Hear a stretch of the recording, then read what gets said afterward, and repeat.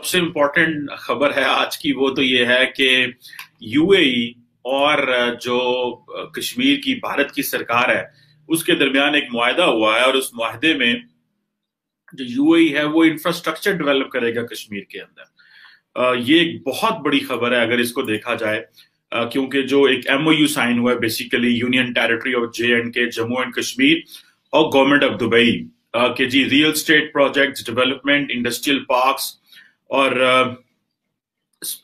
Hospitals जो है वो डेवलप किए जाएँगे। और इसमें ये बेसिकली कहा जा रहा है कि ये 18 अक्टूबर यानी कि अभी ये मुआदा हुआ है आ, कल ही। और इसमें आ, जो जम्मू एंड कश्मीर एडमिनिस्ट्रेशन है उन्होंने ये साइन किया है। With the government of Dubai और इसमें किसी कंपनी का नाम नहीं है गवर्नमेंट ऑफ़ दुबई ठीक है जी? For the real estate development industrial park और इस तरह की चीज़ों में। अब यहाँ पे देखना है कि ये जो इंडिया के यूनियन मिनिस्टर हैं कॉमर्स के गोयल साहब, उन्होंने कहा जनाब के ये जो एमओ जो है, हमने इंडियन गवर्नमेंट ऑफ़ दुबई से साइन किया है। और ये जो पॉइंट है, ये बड़ा अहम है। वो कह रहे हैं कि दुनिया ने ये मान लिया है, तस्लीम कर लिया है कि जम्मू और कश्मीर जो है ये डेवलपमेंट की तरफ़ चल पड़ा है और उस बोगी उस ये बैंड वैगन पे चल पड़ा है और इसका एक बहुत पूरी दुनिया को एक सिग्नल जाता है कि इंडिया जो है वो एक ग्लोबल पावर में तस्लीम है। इसका मतलब क्या है व्यूअर्स कि वो ये कह रहे हैं जो union minister for commerce India के कह रहे हैं कि गोयल साहब कि दुनिया ने आ, इंडिया को मान लिया है और ये मानने से मुराद ये है ये उनका, जिसे वो कहते हैं ना रीडिंग बिटवीन दी लाइंस वाली बात है।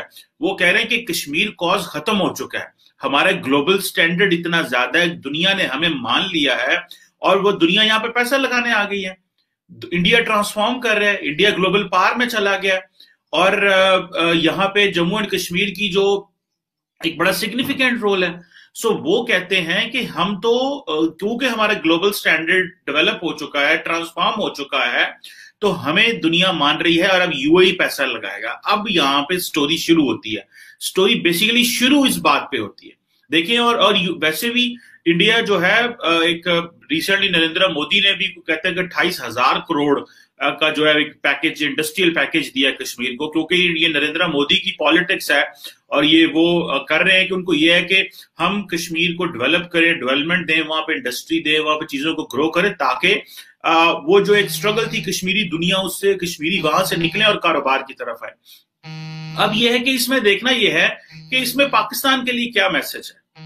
पहली बात तो मैं आपको ये बताऊँ व्यूअर्स जो सबसे ज़्यादा, जो चीज़ मुझे खटकती है ये वही इंडिया है, जो कहता था पाकिस्तान को कि जो चाइना पाकिस्तान इकोनॉमिक कॉरिडोर है सी पैक वो उसके ऊपर चीन इन्वेस्टमेंट नहीं कर सकता। द रीजन बिहाइंड इज़ कि जो कश्मीर और गिलगित बल्तिस्तान है, वो डिस्प्यूटेड टेरिटरी है।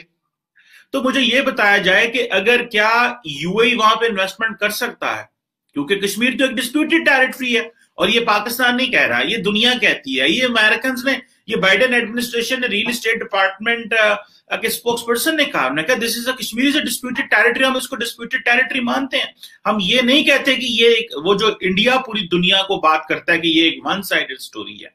कि नहीं जनाब ये तो हमारा आ, आ, हम जो मर्ज़ी करें हम जैसे मर्ज़ी चीज़ों को करें ये वो तो नहीं मानते। इसको अमेरिकन भी नहीं मानते इसको कोई और भी नहीं मानता। सो अब देखिए, एक तरफ़ तो वो क्वाड टू है यूएई इंडिया अमेरिका इसराइल अब यहाँ पे वो रीडिंग बिटवीन दी लाइंस वाली बात है आज तो कि यूएई ने आपको सीधा सीधा पैगाम दे दिया है कि you do not fall anywhere in their calculation ना कश्मीर किसी कैलकुलेशन में आता है, ना वो कहते हैं पाकिस्तान को वो किसी कैलकुलेशन में आता है। और वो इसलिए, उनको पता है कि जो पाकिस्तानी इंडिया दुबई में जाते हैं, या तो वो लोग हैं जो यहाँ से दो नंबर पैसा लेके गए हैं, उन्होंने अपना पैसा पार्क कर दिया है। एक उस हवाले से करप्ट लीड बैठी हुई है वहाँ पे, और दूसरा, या फिर वो बेचारे गरीब लोग हैं जो वहाँ पे मेहनत मजदूरी करने गए हुए हैं। बीच वाला जो मिडिल क्लास है, जो पढ़े लिखे लोग हैं, वो भी बहुत ज़्यादा है पाकिस्तानी दुबई के अंदर। लेकिन they do not fall into that category क्योंकि वो जो बड़ा स्केल है पैसे का वो या तो गरीब जो है वो वहाँ से पैसा लेके आ रहे हैं या बड़ा वहाँ पे पैसा पाकिस्तानी लेके जा रहा है। तो उन्होंने जो फैसला कर लिया है कि ओआईसी ने तो फैसला कश्मीर को कर दिया फारक पता तो हमें पहले भी है, लेकिन हम ये बात करने को तैयार नहीं है। लेकिन क्या गवर्नमेंट ऑफ़ पाकिस्तान, क्या इमरान खान की सरकार ओआईसी के प्लेटफॉर्म पे या यूएई से ये कह सकता है कि इस डिस्प्यूटेड टेरिटरी में आप इन्वेस्टमेंट ना करें? क्या पाकिस्तान का वो क्लाउट है? ये है वो चीज़ देखने की। अगर यहाँ पे आपको मजीद पता चल जाएगा, चीन, इंडिया तो हर जगह पे कह रहे कि जी, कश्मीर और गिलगित बल्तिस्तान डिस्प्यूटेड टेरिटरी है, और सी पैक पे आप इन्वेस्टमेंट कर ही नहीं सकते, ये तो हमारा इलाका है। इस पर चीन कैसे इन्वेस्टमेंट कर सकता है? उन्होंने एक पॉलिटिकल स्टांस लिया था फॉर सम टाइम लेकिन ये क्योंकि इतना पॉपुलर स्टांस नहीं था, वो ऑटोमेटिक खत्म हो गया, उनकी किसी ने सुनी नहीं इंडियंस की इस पे। लेकिन अभी पाकिस्तान की कौन सुनेगा? क्योंकि हम तो कहते रहे हैं, दुनिया हमारे साथ मिलके कश्मीर के इशू को डिस्प्यूटेड टेरिटरी कहती रही है, दुनिया हमारे साथ इस मसले पे खड़ी रही है। अब आके हमें बताएँ, अब हमें बताया जाए कि अब क्या होगा। क्या ये जो इंडस्ट्रियल पार्क बनेंगे अठाईस हज़ार करोड़ तो सेंट्रल गवर्नमेंट लगा रही है, ये जो एमओयू साइन हुआ है, और वो कह रहे हैं ये फ़र्स्ट इन्वेस्टमेंट एग्रीमेंट है, किसी भी फॉरेन गवर्नमेंट के साथ। और आपको पता है ये सेंसिटिव रीजन भी है। और कश्मीर की ऑटोनॉमी के हवाले से भी। और यहाँ पे आ, आ, ये डायरेक्टली आपको पता दिल्ली रूल कर रहा है। सो so, अब डायरेक्टली दिल्ली रूल कर रहा है और ये इंडियंस ने ये यूए को कन्विंस किया है कि हम क्योंकि सेंट्रली गवर्नमेंट देख रही है सो लिहाजा आप वहाँ पे इन्वेस्टमेंट करें। Centrally union territory Jammu and Kashmir है ना? सो और पाकिस्तान कहता है कश्मीर हमारा इंडिया कहता है कश्मीर हमारा, लेकिन इसका मतलब है कि दुबई की गवर्नमेंट ने यह मान लिया है। यूएई ने यह मान लिया है कि भले ये डिस्प्यूटेड टेरिटरी है, जो भी है, लेकिन हम वहाँ पे इन्वेस्टमेंट करेंगे। और ये इंफ्रास्ट्रक्चर लगाएँगे इंडस्ट्रियल पार्क्स लगाएँगे आईटी टावर्स होगा मल्टी पर्पज टावर्स होंगे लॉजिस्टिक सेंटर्स हैं मेडिकल कॉलेज और हॉस्पिटल्स uh, हैं। तो अब ऑब्वियसली ये एक इस तरह की इन्वेस्टमेंट है व्यूअर्स जिसको देख के लोकल्स के मुँह में पानी आएगा कि भाई हम किस चीज़ की जंग लड़ रहे हैं। सो so, इससे एक और अक्स भी निकलता है कि क्या कश्मीर के ऊपर वो जो एक आइडियोलॉजिकल पॉलिटिकल रिलीजियस जो इन्वेस्टमेंट कश्मीरियों ने और पाकिस्तानियों ने की, उसका क्या स्टेटस है? क्या कश्मीरी जो है, कश्मीर में अब वो स्ट्रगल तो उस तरह हो नहीं रही? जो एक जहादी स्ट्रगल थी, वहाँ पे जो लोकल्स जो थे, वो स्ट्रगल कर रहे थे, वो तो उस लेवल पे अब नहीं हो रही। खामोशी है। बुरहान वानी के बाद कौन वहाँ पे, कोई बड़े लेवल पे इस तरह कोई लड़का जो है या यूथ के अंदर वो स्ट्रगल नहीं रही? क्योंकि उन्होंने अपना सिक्योरिटी ऑपरेटर्स बीफ अप कर दिया।